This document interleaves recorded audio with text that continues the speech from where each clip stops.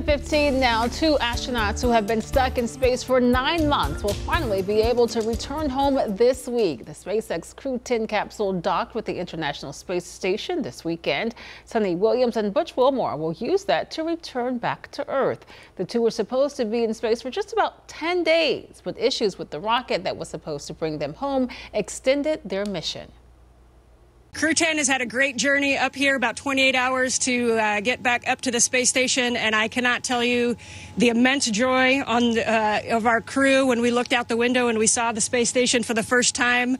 Uh, returning for a couple of people, very first time for a couple of people, um, and let me tell you, that is such an amazing journey. Uh, you can hardly even put it into words. Uh, the ride up on the Falcon 9, uh, orbiting the Earth for the last couple of days, it's been absolutely incredible.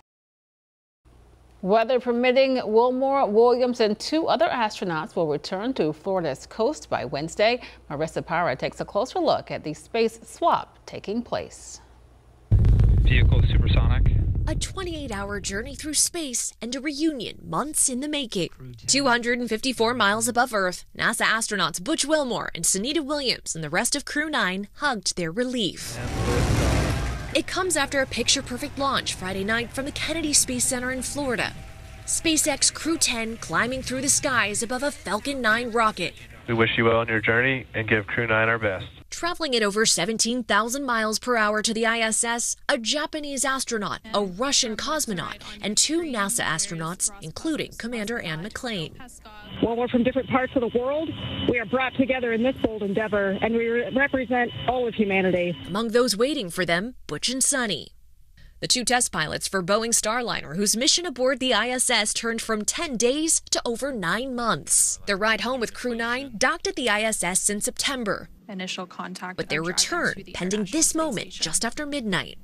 The outgoing crew proving zero gravity doesn't mean zero humor greeting their replacements with laughs and smiles. And, and I cannot tell you the immense joy on uh, of our crew when we looked out the window and we saw the space station for the first time. And after nine long months, Butch, Suni, and the rest of Crew 9 one step closer to their return to Earth. It was a, a wonderful day. Great to see our friends arrive. So thank you so much. Marissa Parra, NBC News. I put in, in our terms and I think about it in big, you know, news event coverage. We sometimes are on the air for hours at a time, and, yes. we, and we, wait for our relief anchors to come in, and, and, right. and, that's usually a couple of hours. They've been waiting nine months for their relief. Ten days extended to nine months. Like that's just hard to even fathom. That's, that's a, that's a long time for uh, to be waiting for some relief. And they've been upbeat about it, so hopefully yeah, they will get home. Kudos to them soon. and their families. That's right.